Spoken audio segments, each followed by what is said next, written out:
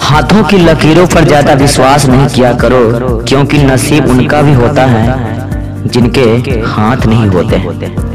Top करने का सपना आपकी आँखों में है आइस बनने की बहुत इच्छा है आपकी, लेकिन आपकी समस्या वही घिसी पुरानी है। क्या करे?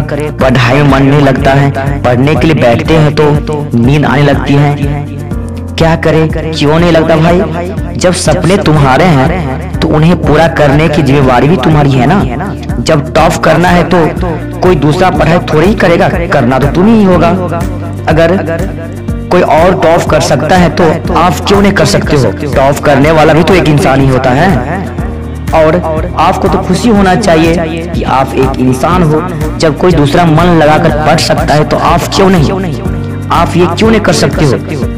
यह तो आपके पास खिलौना है ना, जिसका नाम है मोबाइल। शायद यही आपकी पढ़ाई में बहुत बड़ी बाधा है, बहुत बड़ी रुकावट है। देखो, अगर कुछ अच्छा करना चाहते हो ना, इसके साथ तब तक रहो जब तक इसकी ज़रूरत हो, वरना इसे छुओ भी मत। आप क्या सोचते हो?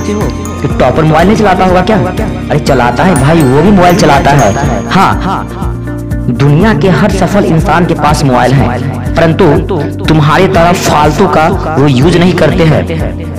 ऐसे फालतू चीज़ों को देखने के लिए वो मोबाइल यूज़ नहीं करते हैं। वो अपना समय बर्बाद नहीं करते हैं, बल्कि जब भी मोबाइल का यूज़ करते हैं तो केवल पढ़ाई के लिए मोटिवेशन के लिए। अगर वह यह सब कर सकता है तो आप क्यों नहीं कर सकते हो?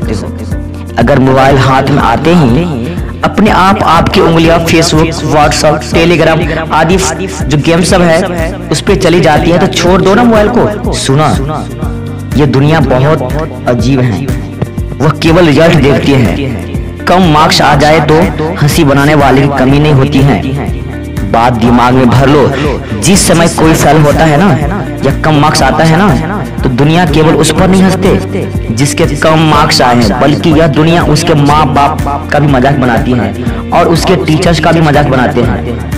तो क्या तुम यही चाहते हो कि तुम्हारे माँ बाप का, तुम्हारे परिवार का और तुम्हारे टीचर का कोई मज़ाक बनाए? सुनो भाई, सुनो, ऐसा कहीं मत होने देना। बहुत उम्मीद लगा रखी है आपके माँ बाप ने। बहुत मेहनत करते हैं वो आपके लिए। क्या आप ऐसे ही उनके मज़ाक बनने दोगे? क्या होगा उनकी उम्मीदों का? जागो भाई, जागो। लग जाओ आज से ही पढ़ाई में। आज ही एक टाइम टेबल बना लो और पढ़ाई शुरू कर दो। अरे यार, मैंने तो ये क्या कर दिया? टाइम टेबल नाम ले लिया। आपने तो इस साल कम से कम दस बार टाइम टेबल बना लिया है। और हमेशा आप सोचते हैं, इसे मैं कल से फॉलो करूँगा, सोमवार से मैं पढ़ाई करूँगा, मंगलवार से पढ़ाई करूँगा, एक तारीख से पढ़ाई करूँगा। परंतु यह सब आपके बस की बात नहीं है। क्या सोच रखा है तुमने? तुमसे अच्छा तो जानवर है जो हर काम को सही समय पर पूरा कर लेते हैं। वो भी प्राकृतिक रूप से उसमें दिमाग नहीं है। और आप दिमाग वाले एक स्वस्थ इंसान हो फिर भी अपने सपने को मार देने में लगे हुए हो। जो समय हाथ से निकल जाएगा, याद रखना, वो वापस नहीं आने वाला है गाइस सुनो, एक और बात सुनो।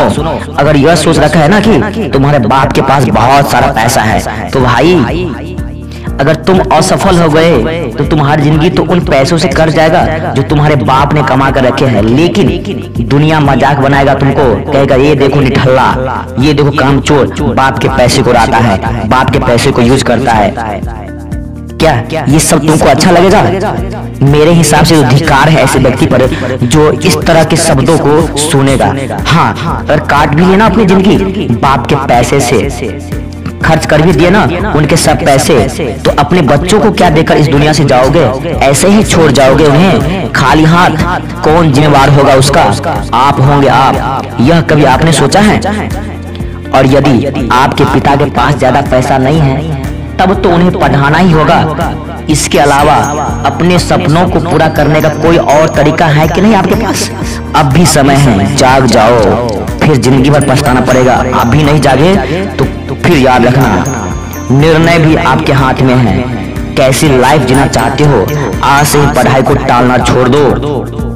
यह कहना छोड़ दो कि मुझे पढ़ाई मन नहीं लगता है।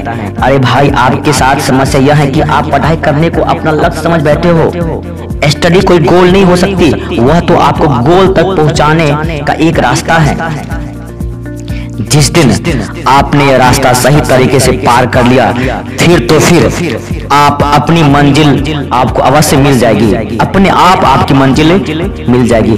तब आपको पढ़ने के लिए कोई नहीं कहेगा। अपने सपनों के खातिर पढ़ो अपने माँ बाप के खातिर पढ़ो अपने पिता के खातिर पढ़ो अपनी इज़्ज़त के खातिर पढ़ो।